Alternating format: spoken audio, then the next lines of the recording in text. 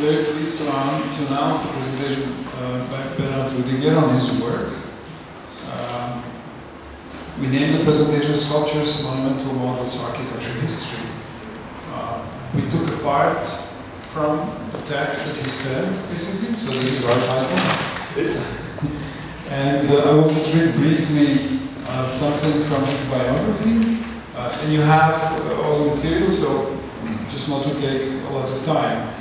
So Bernardo was born in Italy and lives and works in Paris. He graduated from the uh, Accademia di Belle Arti Milan uh, with Ciano Fabro and teaches today in Lyon, uh, when he, where he directs the research program Contemporary Art and Historical Temporalities.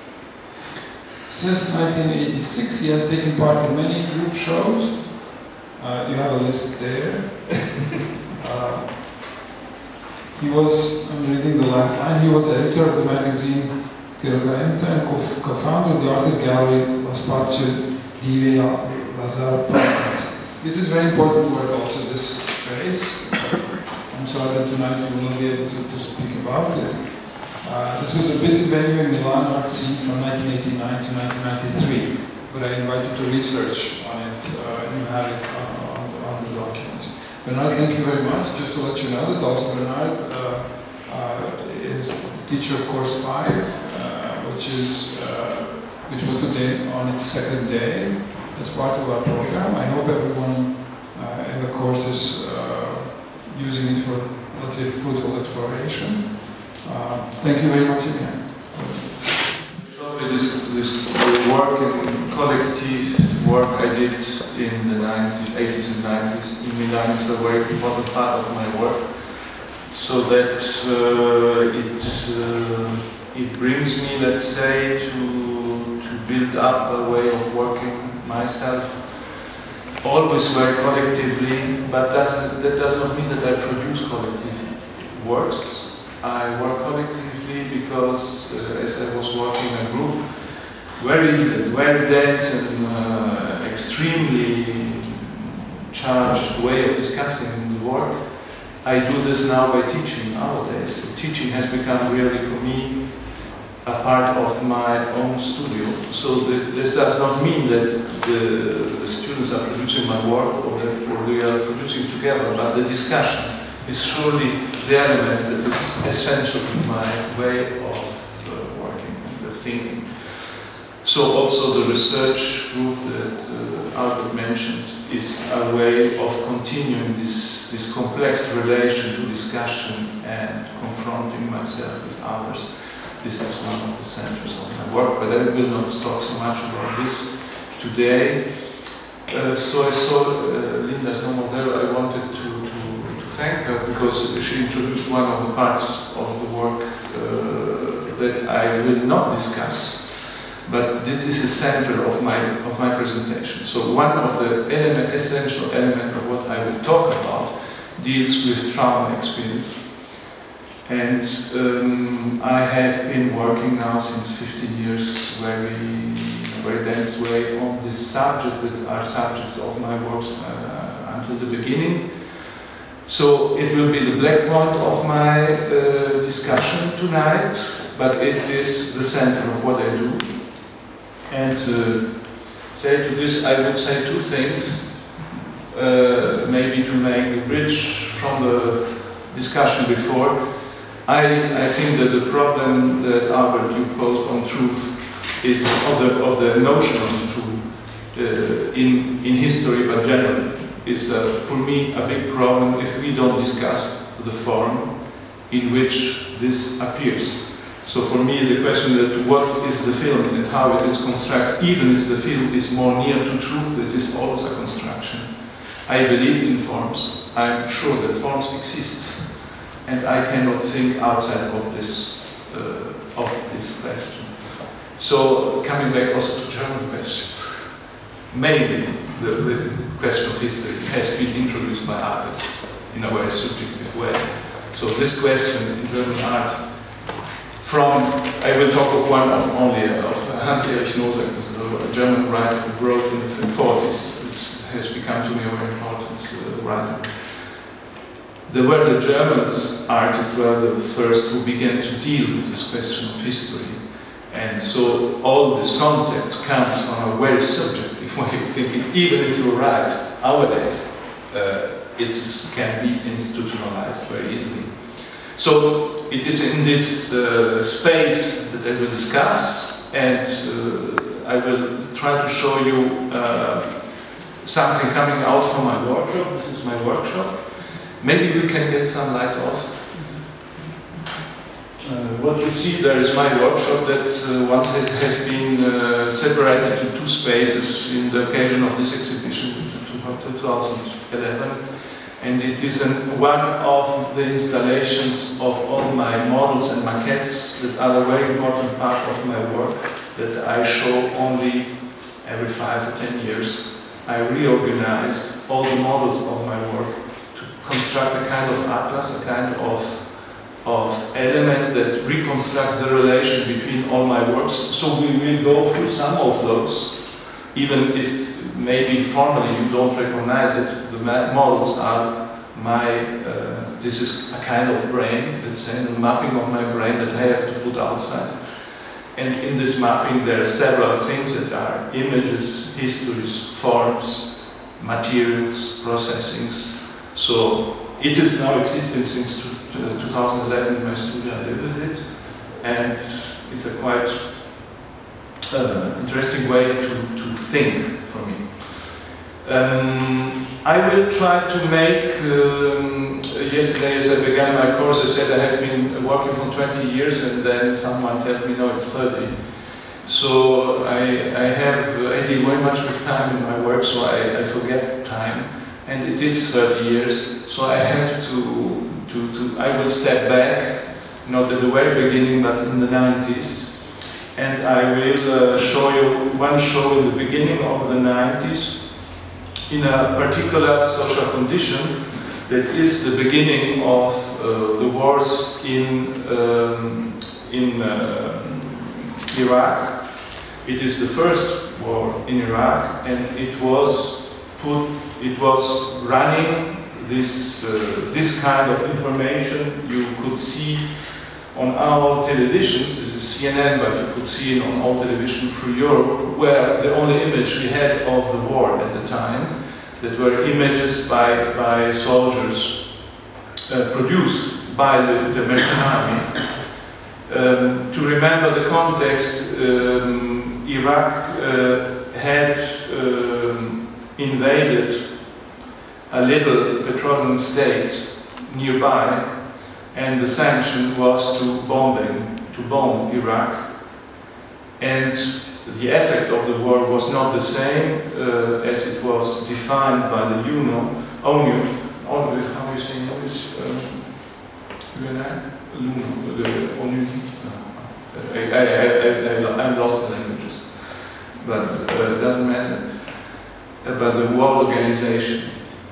United Nations. United Nations, okay. the United Nations was to stop the invasion, but the war in fact was very different. It has been the destruction of all the Iraqi army and it, it has, uh, as you see in the data, it was very short and very brutal, but we didn't have any image of this war at the time. So I was invited in 91, uh, in these days, it was the, the, the, putting up the exhibition in a museum in Prato, that is a museum uh, that did the first exhibition of my generation, so I was in with two of these artists. I was working in my, my own gallery group of artists, uh, artist space.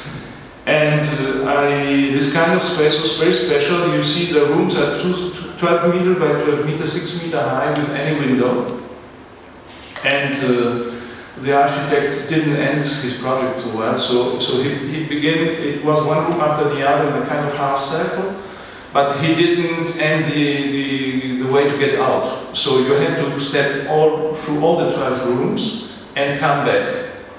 And he did another, uh, another, I forget also the problem that in museums you have works to hang, and so you need to put them, to get them into the rooms. He forget to, to, to construct uh, uh, somehow the, the way art was can come into the space. There was only a very small uh, way to get up. So at the end he did uh, um, a hole in the last wall that could be opened and I used this hole for my exhibition. And I will not speak very much on the other works. Let's say that I, I opened the museum at the end of the museum with a very big glass of six meter high, three meter large, that with the name, uh, the large glass as, as the glass of Duchamp. Um, the other works um, that are there, I will not discuss them so, very, if not very quickly. Let's say that this is a prom work of the 80s I did. It, it's, it's a cast of, of lead that is heated from, from outside. As you see, these are elements used to heat petro petroleum containers when they are stocked in cold places. So I was heating the lead so that the air was full of lead and, and, the, and the space was quite empty. There were this kind of spaces here, these elements, were kind of cabins you can step in, and the mattress of the cabins was a question I was working very much. I will talk a little bit about this. So this opening, the, my space was empty quite, all the pieces were on the door, and uh, after the empty space we had an empty window, you looked through the window. So what is important for me, it was a very important experience because I was working on a political issue for me.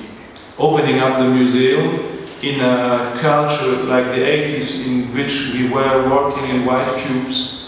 White cube has become the standard at this time.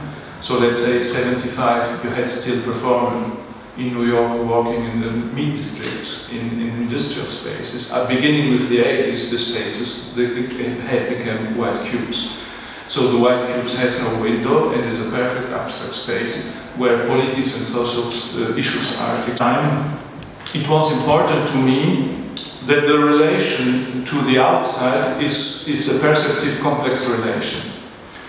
And I show you here the picture of the only exhibition uh, Marcel Duchamp did of the large, large glass. Uh, it, it is a photo by Man Ray in the exhibition of 26 in Brooklyn Museum. You see that uh, the, the, work of Duchamp uh, is based on transparency so that the shapes you, are, you have on the picture that are painted are a very, very complex construction of machinism. I don't really talk so much about it, but my work deals very much with this, mainly with the inventor, with the small Picard and Duchamp. But what is what interests me mainly is that in in the ground, in the, the large glass of, of uh, Duchamp, you have something to see, to look at, and in the same time, what is behind the historical background, the horizon, is working with what you see. So here in the exhibition you see the works of other artists. If you look at now in, in Philadelphia, now it's exposed this way. You have doors and windows and other works behind. All the shapes that are behind are working with the form. For, it's for me interesting because Duchamp was thinking of these uh, non-connections in time the time of the picture and his historical life would have always horizons that are changing behind him. What it happens with my uh, large glass is that there is nothing to see on the glass. So there's any, any form, any shape, and you have to look through the window, yeah, you see the world, you see the you see some, some housing nearby the nearby museum with any interest. But the question for me that was important, it was what I see when I have to see something.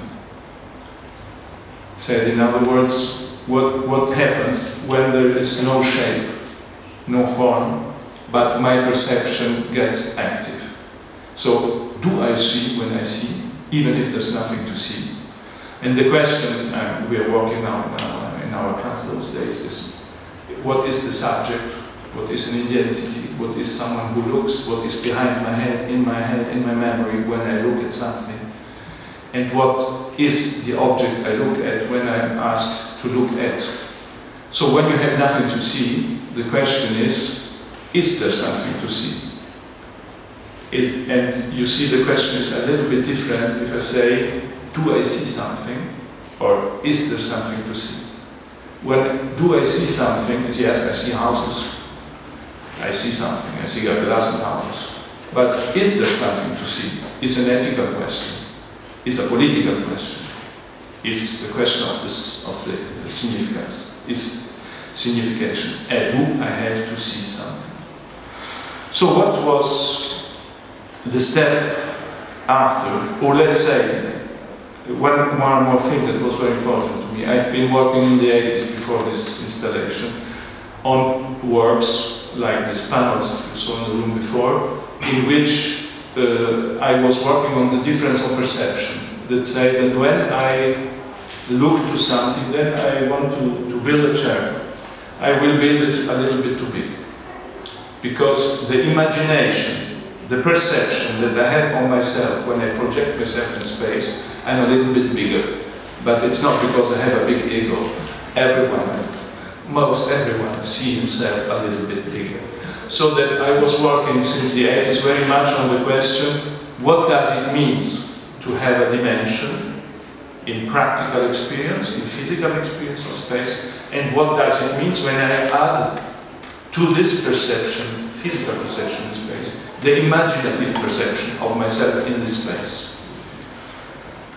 And what I, I did the step after was the same year, I did an exhibition, a very open big space in Florence, in which I, I closed the door with two steps. The steps are constructed in, mm-hmm. step, in, a, in a way that the body is feeling the difference of the steps, and the space is a little bit closing up, so that you are paying much attention physically to your body, how you are stepping up. And when you step up, you, you get on an open space in which uh, your feet are on three meters high, so your body is five and a half meter high, and you are in space, in nothing, exposed to the danger to fall down. And what interested me very much in this moment was the question, what happens in this moment when I step up? Let's say I'm concentrated on my body, I have to put my feet, I feel myself as physically present. And when then I step up in this empty space, somehow I begin to feel myself in danger and I'm now in two moments, shall I pay attention to my body or shall I look in this emptiness? So it's very romantic German attitude, the emptiness of the spleen is there to see something? Shall I look at something? Shall I see something? Do I see something? Or what shall I see? The ethical question. Is the question of, of this moment of becoming conscious that I'm looking at nothing, but I'm looking at, I'm projecting myself in something. So what interests me very much in this question is this moment when I organize my perception. And uh, what was the main, the main uh, question for me, and they gave the title to my piece as Räumen. Räumen is a German uh, word that is a resin of a German word to which you can add aufräumen, einräumen.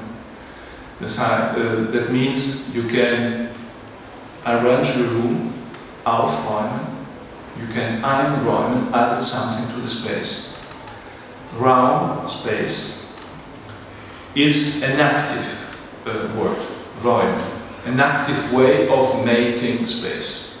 And this is the name of that Heidegger used to, to explain the relation between art and space. And it interests me, now I understand it much better than at the time, but interests me much more, is the question that before you can, that you can give any sense to what you do, you have you make this first action that is Räumen. And the, the example Heidegger gives is this of the forest. We are in a very German forest with all the trees the same, the same distance. And then in a moment there is nothing, there is a space, light comes in, and then you feel space. You had an order, you get in another order, and in this moment you make Räumen, you make space. And what in Heidegger is thinking uh, was to me very important in, this idea of Räumen. You produce space as a subjective experience and you make space become a place. In English it works very well. That means that the space is not a neutral given, a neutral given dimension, but the space is an inhabiting space. I'm producing an image on this space. I'm producing myself as a projector on this space. So this works, the title is Räumen, and the importance of this was for me the question in this moment of decision. I have to take a decision if I see something. So going back to the political issues that I couldn't resolve so much in this first experience of the big glass, of the large glass, the idea was that if I have to see something, what does that mean that I'm asked to understand something, to see something? I, the, to come to this work, the, the, main influence, I would say, would certainly has been certainly the experience I saw in the 80s uh, in a collection in Varese, the, the corridors of Bruce Nauman. This is a performance. This is performance corridor of uh, 69, and the first piece Nauman did is this. It is a corridor. It's a film in a corridor in which Nauman defines the dimension of the corridor by a contrapposto. I will not talk about what is contrapposto. It's an invention of Michelangelo, how the bodies are turned in Michelangelo's painting. But the contrapposto here is the moving of the body by walking that defines which is the dimension of the corridor. And I was very impressed by this works of Nauman, in which the dimension is defined like you see it here. The dimension is defined by a body going through, but what I see is a space that is not good for the body. There is any dimension of the body in perception. So this was really for me the beginning of work, of my, my personal work. And the second question that was very important in this time is this piece of Walter de Maria, Light Lightning Fields. It is a very strange experience because you have to travel a very long time to go there and there is nothing to see. There are hundreds, every hundred meter you have a stick for waiting for some uh, some lightings. So it's a lighting field. It's it will, it could, it would, if there was going on something, capture all the lightings coming down from the sky. And it was interesting to me the question that if I look at this very minimalistic piece, there is nothing to see, but I see this. In my head, I see this. So how does it work? That from there, I come to there. And this is for me a very important question. What does that mean? That I perceive something? And if we go back to the political issues, what does that mean? That I recognize, let's say rape, that I recognize violence. What does that mean to see violence? That's coming back to what I said in the beginning. I don't agree that there is truth because the truth has to do with a subjective way of seeing it. I have to do the work to see it, and the shape is not enough. So this was uh, one of the of the big elements that I was working on, and and I have to say that I, I couldn't resolve the question of the politics. One of the important elements that brought me to work very much that it, at the time I did the, the large glass, I was dreaming at night. I have awful uh, dreamings. I have very often important. It will become better. You deal with what you have to memorize or not. When you're younger, it's very complicated. But I had awful dreams of the war in Iraq because I didn't see the war. So where were coming these feelings from? I'm half German, I'm half Italian, I have memories in my family that are linked to, to, terror, to terror and war in all the directions, in the bad ones and in the good ones, in the fascist one, in the resistance. Uh, I have a memory of history of war, but I have from a, from a generation of the boom of the European richness. So I didn't grow up in, in war. I have saw films about war, so very much. I have, German, I have been in German public school, so at my time in German public schools you have to look at the film about Shoah with all the class. So I saw the opening of the camps. I saw uh, this kind of memories that were given to German uh, young uh, students to look at. But you see in the what was happening when did, we did this large class is that there was a, a, separation between what the television was showing and what I knew that war was, and it didn't fit. And in my work, I was working with two things you couldn't see, the intention to look at something and the empty glass. So I was, was working of emptiness, of absence, by being heavily charged with things that were uh, very, uh, very strong.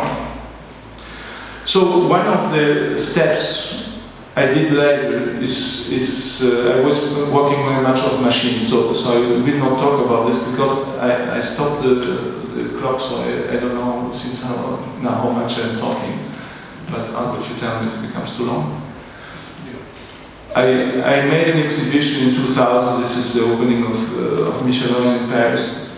I, I, um, I made an enormous machine that is a little bit higher than you, so when you stand by, you, you cannot see it really good. You see two little machines like trains, like a child uh, playing with trains. I, I built two little trains, and these little trains go out and in the center of this machine. So sometimes they are arriving together, sometimes not. The title of this machine is a very long title, get from, from Picabia's, from two Picabia's pictures.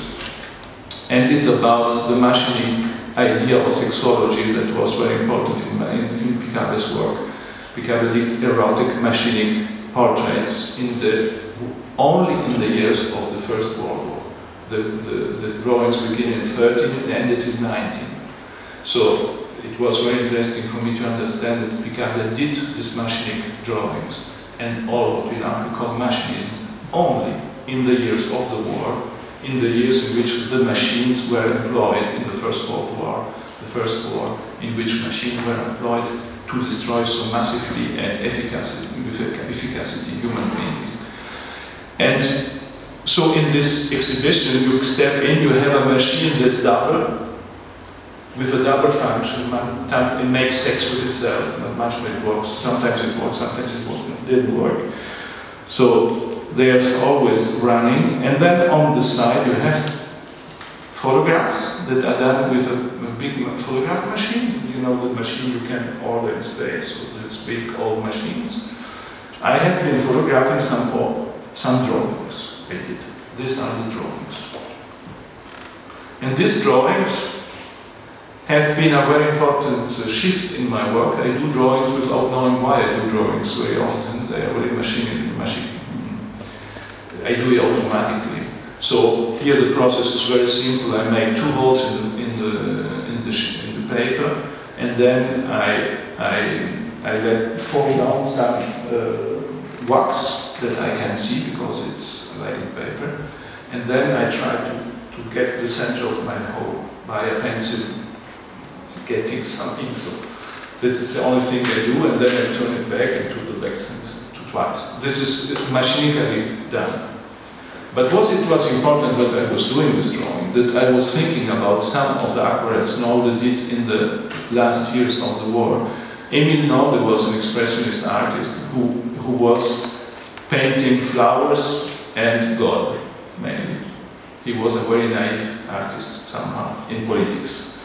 And then he was very surprised to be an art the Kunst. And then he was, he was not allowed not more to continue to paint and get back to Denmark, his, in his village, where he, he did not have any uh, permission to paint. So he did very small aquarelles like this on the seaside. And all these aquarelles of the seaside have some holes because he made it very quickly and there are holes in the sea. And I was so impressed by the scrolls of uh, Nolde because I, my thinking was Nolde has no more horizons, so he has no more object to paint. These paintings are named the ungemalten, Bilder, the, the, the paints not painted, the paintings not have, that have not been painting, painted. So Emil Nolde made holes, let, let somehow open spaces in this uh, and my thinking was he has no more horizon. Before he has his God, Christ, he was making very much picture on Christ, and, and uh, compassion, and uh, nature, and life. And in these last years, there's no more than materials of the sea with these holes, and I was thinking that the horizon has smashed down. So after the war, in the last years of the German war, a painter has no more horizon, has no more horizons. What that, that, does mean that there are no more shapes. So last year here I talked about of shape and horizon. But the question is, you can make any shape if you have not in outside and in your head two horizons of shapes. Beginning with this, you can think. How can you do a picture if you don't know pictures? You have to know pictures to make a shape, to make a form. So, what does it mean that, uh, that the end of the energy of my eyes are my eyes? So that the holes are the, the, the, the last point of the perspective and are the beginning point of the energy of my looking. This was the, the thinking when I did these drawings. So what I did with the photographs is I have been hanging these drawings on, on uh, copper um, copper, um, uh, how do you say? Well, it doesn't matter. It's hanging in, in an empty space, and then you have some sticks on copper that are holding two lamps. The lamps are behind the drawing. Here. And from the ceiling is hanging a young, a young woman of 14 years that has been kept in uh, Tours. Sadana Fif gave me this this uh, thing he, he bought some as he was students in Bourges. So this young uh, skull of a young woman is hanging in the perspective, in another perspective than the eyes, through the eyes. And the lamp is behind the eyes are the energy that give lights to the picture. But I photographed it in color and printed in, in black and white so that I have a negative and the light has become black material. We will talk with my students tomorrow or after tomorrow a little bit more about Joseph Beuys, but because the title of title of this is a performance of Joseph Beuys, but I will not enter this question. But what is important to me to explain to you to you understand that I, under, I understood with this exhibition that the question of horizon was very important. When I opened the window, I opened also an horizon, not only an empty space. That it's beginning with the real political social world, as it is in time, outside of the museum, that the forms that were inside the museum can be reading and can be have a signification. So in my exhibition, until this exhibition, I cannot more exhibit without constructing horizon I see and the horizon has become the real question. So the question has become in a moment in my work, what does it happen in the outside, on this extreme limit? What is an artist that has no more horizon? So I'm not Emil Nolde, I didn't live in the, in the time of entartete Kunst, but I lived in, in the time of, of a new way of entartete Kunst that is the market of art. I came from a country, and my career began in Italy, in a country in which neoliberalism was this extreme, that the art world was quite destroyed by neoliberalism. And the new generation that came out of this, like uh, Cattelan, their strategies were based on sophism and humor. Humor to, re to reconstruct a way of, of dealing with political and, and artistic issues. So uh, what I thought in this time was that it was no more possible to work without any horizon. What I did the step later, this is in two years, the same, just, no, I don't know, one year later, I've been exhibit, I've been working in Israel and Palestine in Bezalel, and then I I did photos as everyone did photos. I don't do any photos anymore now, but at the time I was thinking doing photos would can be a kind of memory for myself for working. And I, I constated that all my photos are so bad, that are so bad tourist photos or so bad documentary photos, but even in these categories they cannot be looked at. And I was very shocked by the fact to be someone who works on images since he is born. And then when he travels, he makes so bad photos that you can see nothing in these images. And I was very impressed by this question in Palestinian. It was the beginning of the new intifada, of the second intifada at the time that I could not take any picture what, that was really saying something about the situation. So what I, I did to resolve the problem is to say, okay, so let's change method. You're so bad in taking light waves, they take sound waves. And so I built somehow a, a, a photographic machine that is very simple. I used two micro microphones Instead of, uh, of, using a machine that where the light comes in, I used two, microphones, two microphones and I've been walking, making the sound of the place I was uh, going through. Then the second intifada began as I get the money and I get all the things to be in the middle of the war. I didn't want to, to, to have the, the, the documentary of dead people or the documentary of this kind of violence because what I was looking for was the war in his, in his non-visible form, not in the form of violence. So what I decided it, it was very stupid, as artists can be stupid. I said, okay, the center of the war is not only where the violence is, the center of the war is where the money comes from. So let's go to another center. And I, got I went to Wall Street I went to New York. And I've been living a month in New York with headphones on, two microphones, and I was living only with my microphones, stepping all through the street. I did mainly all the streets of Manhattan and some, some good part of Brooklyn. Working, walking every day on the month, getting some uh, sound and then I came back to Paris to develop this. At the time, to develop this image is about 11, meter, 11 meters by 2 meters, so it's a very big image, was very complicated, so it takes a time. And in this time, the 11th, September 11 happened. And um, so I've been looking for the war in New York on April 2001. And when in September I was now editing my images, history has become much more quick than I could imagine. So that uh, I could not imagine September 2001, it's clear, but it, it gets faster than me somehow. So the first I, what I did was, was Wall Street. This is this is uh, the, this is are the twin towers of Wall Street. These are the twin towers. It's in the moment where the works of the twin towers get out, and I'm filming it.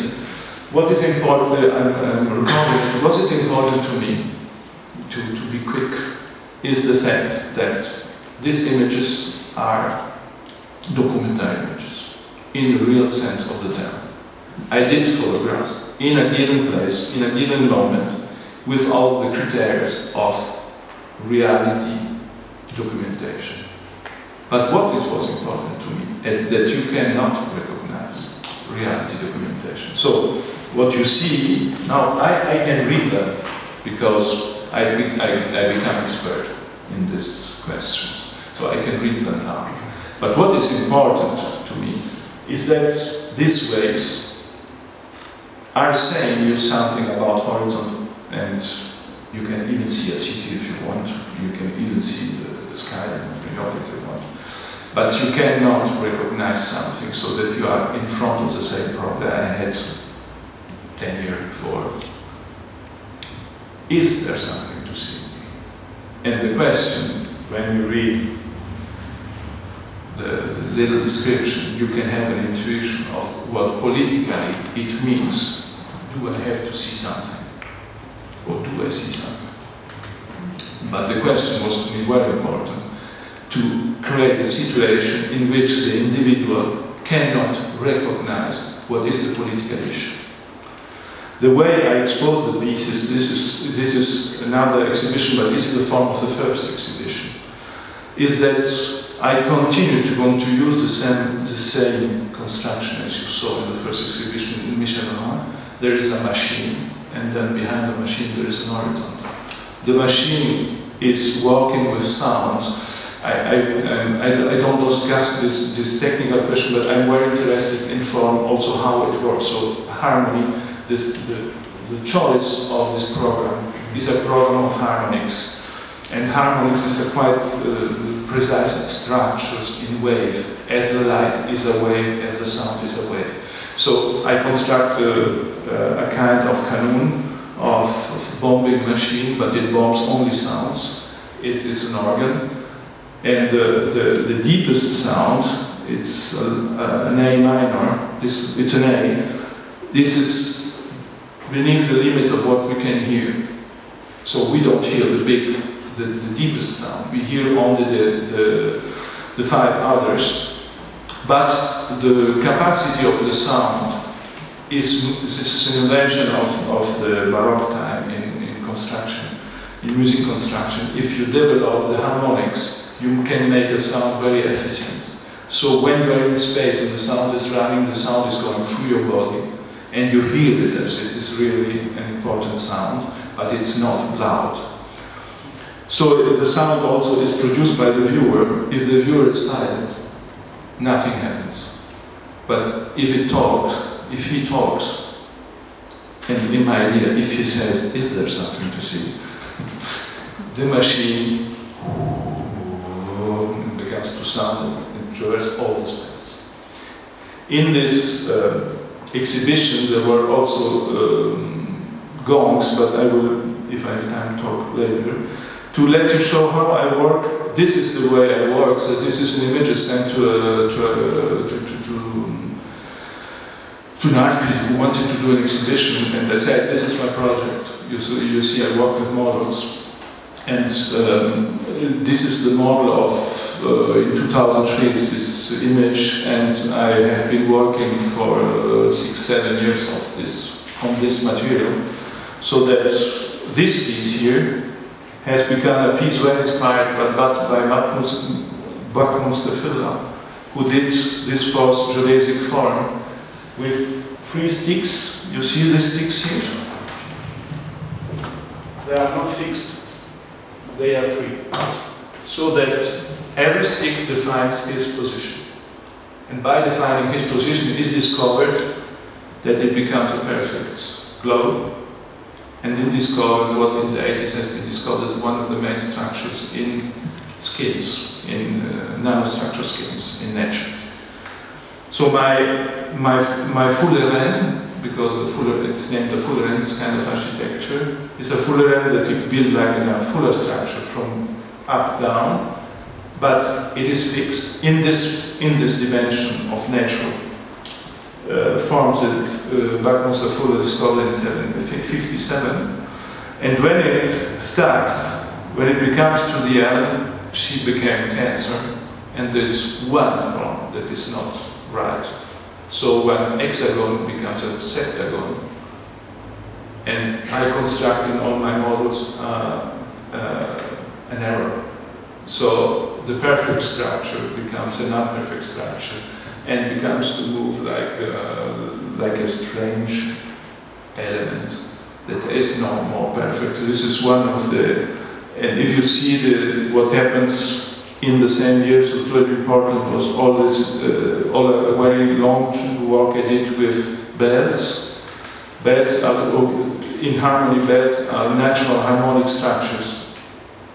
What was interesting to me that I wanted to, to, to make a bell that has a different form. So I, I learn, I'm very technical, so I learn the, the work. I become caster, and then, I, then I become caster, I cast my bell. And then uh, the work continues. So sometimes the work stays three, four, five years because I need uh, to, to learn myself to use my hands. So here I cast the bell. It is a bell that is ringing every f- f- 47 seconds. And you see in another exhibition, this is the same exhibition as the organ, the horizon is the city and is no more the, the uh, Manhattan horizon. But what is important to me are the bells are dedicated and this is 20 end, the end of 20th century. I'm ringing every 47 seconds. That is a rhythm you cannot memorize. You can memorize every kind of rhythm. When you hear every kind of music, you can even learn mathematics by hearing music because your brain takes out the, the noise, the attention to the noise automatically when it is repeated. Here it is repeated, but it is repeated in a rhythm that you cannot explain. That even in, in now, uh, still now, when it's opening, I'm always convinced that the machine breaks. And it doesn't work because the time, you can never expect this time. It's too long and it's too fast. And you are always in a condition of non-corresponding to the time that the bell gives. And the bell is a bell, so like down in space. These are, these are all the works I did at the same time, burning the skulls of animals I find in my Tyrolean woods. When I walk around, there are seven animals that are shooted by persons who do, should not shoot these animals, and then they cut off the heads. You have all the, the last uh, hole in the in the in the skull, in the skull, and then I, I used all the. These are the elements for, for in working of, of uh, bronze. This is the way the bronze came into the piece. So you see, the bronze is casted through this, and then you have the piece. And when you do bronze, then you cut it out. So I left all the structure of the piece, and the and the skulls are having in, the, in their teeth, they're holding uh, a gong. So that in the exhibition you can make them uh, sound, and it is very important to me this ritual to make re uh, vibrate something that has got to death. It's one of the theory of the of the origin of music, using skins of animal, elements of animal, bones to make a flute. Is that in rituals you remake, liberate the body that you have killed. So I, I replaced somehow bodies that has been killed and the burning, burning process was very important because the bones were burning and so produce the emptiness by burning them with fire. Other big uh, bells I did like this is a bell that is in the same exhibition you saw and here it's from, confronting with a city that is beneath, this, this empty space. There is a city, the, the roofs of the city and this bell works with the wind. So you see that there's a gong that is a, a reverse bell, and it, it's, it's, it's in iron, it's the thickness is it's, uh, 1 meter 30. The, the gong is beyond, it's meter in, the, the more than 9 meter high. And the wind, when the wind blows, you can have a bell that says it's war, dang, dang, dang, dang, dang, dang, dang, dang, or you can have a bell that says someone dies, dang, dang. And what was very interesting to me that this is kind of of natural element that we make some ritual, but we are so in, in deeply informed by this ritual that even now that normal bells are existing, we still have the impression to understand this language. And so we are, I show also, I don't show you the last works. These are works from, now, to this last one here is 2009. Uh, it's, it's the last piece you saw, as you saw in the model, it, it was in the beginning the actor of the bell who was acting the bell. And then I, I decided that the bell, the machinery of the bell was not to be seen, it has to be ring and sound. So the clock becomes a clock that reverses time. So it's going uh, in the other sense. And it has three elements of iron, very heavy, that are going up like a clock. It's, it's working like pendulum. Clock, clock, tick, tick. It's going up and then it becomes up. There's no more, nothing to help her. So she falls on the and, and, the, and the clock lost his orders, And the ball, the next comes up and, and falls down. What it was very important to me was the question of a new desert without reference to other deserts. That was this image of Hiroshima and the question of time. This is the first image soldiers of Japanese soldier films of Hiroshima. What was very important to me, that because the title is Pendulum with the, with the date of the explosion of Hiroshima, is the kind of time that is coming back, like in a traumatic experience. Time is coming back, time is coming back, time is coming back. With a disorder that is coming back, a disorder that's coming back without any solution. So when you are in front of the sculpture, you are living this repetition of time going and time breaking, time going and time breaking, time going and time breaking. But it's a big iron thing that has nothing to do with your body, that don't love your body. If you come too near, it hits you. Um, these works of these years now, my work is a little bit different, but the works of these years are very often very aggressive structures that are good looking, but then your body can't find any position with them.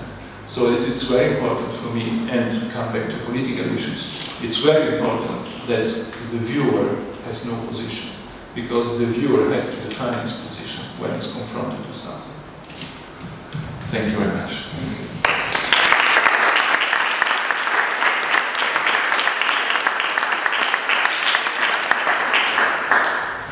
Can we have the lights? Yeah. Okay, so it's, uh, thank you very much uh, again. It's, uh, I hope at some point in time we will be able to see these works also, to see these uh, movements and not only. Uh, if you have any questions, uh, we have some time left. Um, yeah. Um, I was wondering if you could speak about intimacy and these it works. is. Intimacy, um, because they are very big and mechanical, and you say it's hard to find a position for the Yeah. body with them. But by not including the political and asking the viewer to make an opinion, to me it almost seems like an intimacy of the viewer with the object, but also an intimacy of the artist Mhm. in the object and it gets lost within the object, the Yeah. translation. Yes, I think there's, you should, you should, should be right. There's, uh, it's an important question of intimacy. Uh, what I'm maybe looking also through the question, for me, the question of shape is not a lost battle. Is if postmodernism told us in the 80s and as if or when more political art told us, tell us today. Um, because um, I think that uh, if I can answer, I can answer with two different poles, because I cannot answer through the question of intimity. Um, as I, um, I uh, another word, let's say these drawings you see there are done by hammer, so I'm destroying plants. It's very intimate. I take the plant, I choose the plant, I'm going around all over the world and I'm, I'm collecting plants that I destroy by hammer and making with this apparatus of this own juice. So it's, it's a very deep, intimate relation I have with this question. But in the other side, and, and with trauma and with, uh, there, there's certainly a deep uh, relation to this. On the other hand, um, there's a, a deep interest in me for what becomes a form through a process of materiality. That means, like here the Jews, Jew is, is, is making the apparel through my hammer, but I cannot decide nothing. When I, when I, um, when I cast bronze, I put me in the process that the bell I cast, let's say, is only in wax. So if the casting doesn't work, two years of work are lost. This is not because uh, all the artists is the magnificent personage has uh, danger and whatever. That does really not interest me. But the question that the materiality and the fire and all the transformation, like fire transform wax into nothing, into burning uh, material. And this, in the place of this burning, I use burning bronze to get it to a thousand degrees. And then it can fall only because it burns. And it can replace only by burning.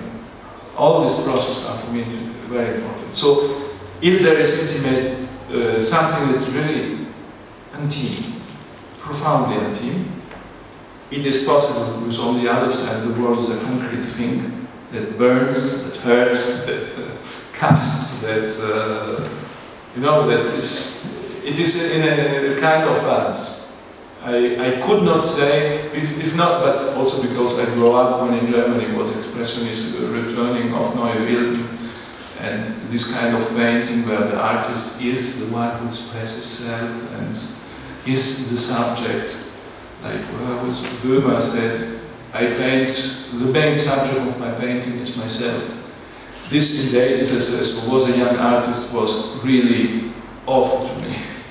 So I, I agree, but only if there's a balance. Okay, sure.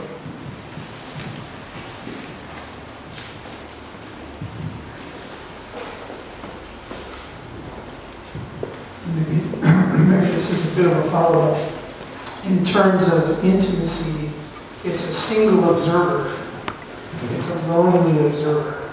And so you also talked about, what you said central to all of this is trauma. Mm-hmm. So the experience of trauma. And then you have a lot of very specific examples, both in the work that you admired and showed, De Maria's Lightning Field. Mm-hmm. So that image that you remembered, or that you're saying you, you have in your memory, and I'm assuming you didn't experience the lightning strikes. No, I didn't. So, but you have this experience of almost the opposite, which is also a lonely experience. It's a single observer, single poles, waiting for the electrical current to come to stimulate or something.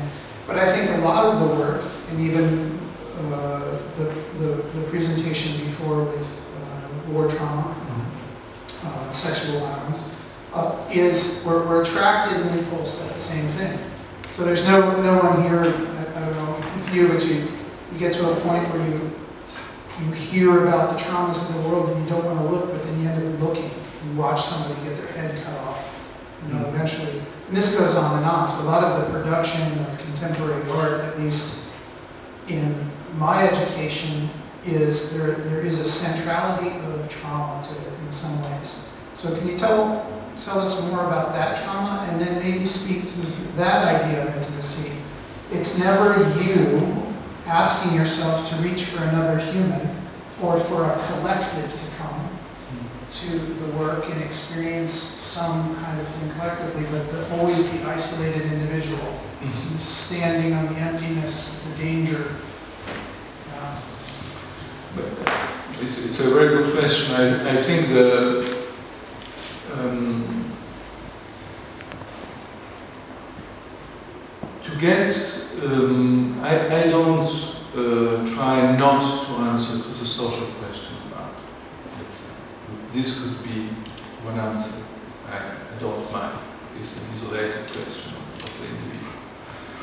But I think that to have um, we will talk the next day in my course about how Schiller thought this, saying that I will not quote it because it's complicated. Say it very easily. Schiller said, to have to become a political thinker, an ethical, ed- educated man, you have to go through experience of aesthetics in loneliness. Let's say in more Kantian uh, terms, to, to put up a new schemata of what you think about politics. You have to have the freedom to reorganize all schematas. So I don't think that, I think that art is highly political, and my work also is highly political. But I don't think that our desire of unity, of unity of point of view, of unity of history, of giving voice to uh, uh, not open, clear, said things that are uh, hidden, that are forgotten, that are this kind of political issues that are central for political life. In art, specifically, I think that they cannot go through a definition of what is common. Because the perception and the singularity of memories of perception. I'm a German Italian, grown up in neoliberalism. I can do nothing. I, I, I, I, can't have any solution to this. This kind of memory built me up. And when now I think political issues, I cannot, let's say the example I use in my, we are talking in, in our course this day is, my eye is double. I see the outside coming in and the inside coming out. I have archetype images in my, let's say, coming back to the rape. I have images of what has been raped in Second World War, let's say, or in, uh, in Vietnam War. I have some images of this. I have any experience of this, but I construct something that becomes experience before becoming political interest. So the subjectivity seems to me essential to think politically. And the intimacy seems to me central. But also because I, I don't think that the characters of me are important in my history. I am German, Italian, whatever. But I'm also an abstract human being, an individual, as it was called after the revolution, French Revolution, let's. There is an individual. There is not only Bernard born in Rome, making this and making that. There is something on inhumanity that is also the possibility to think me as an abstract viewer.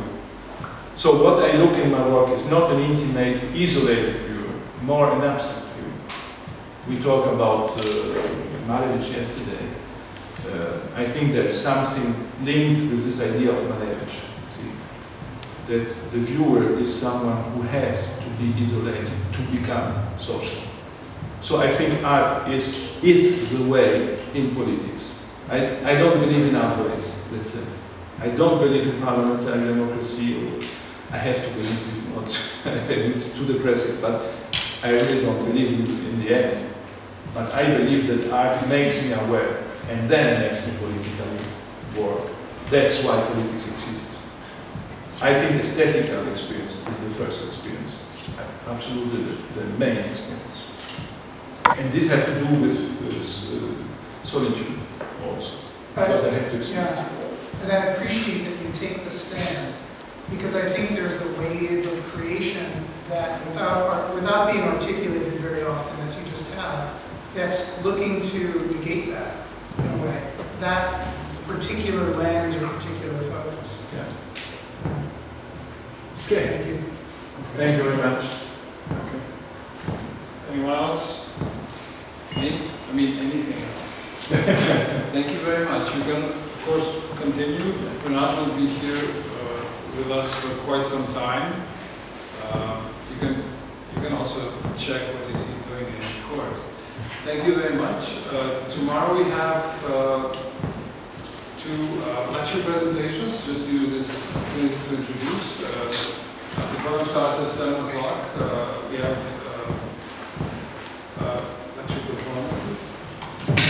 It's a national.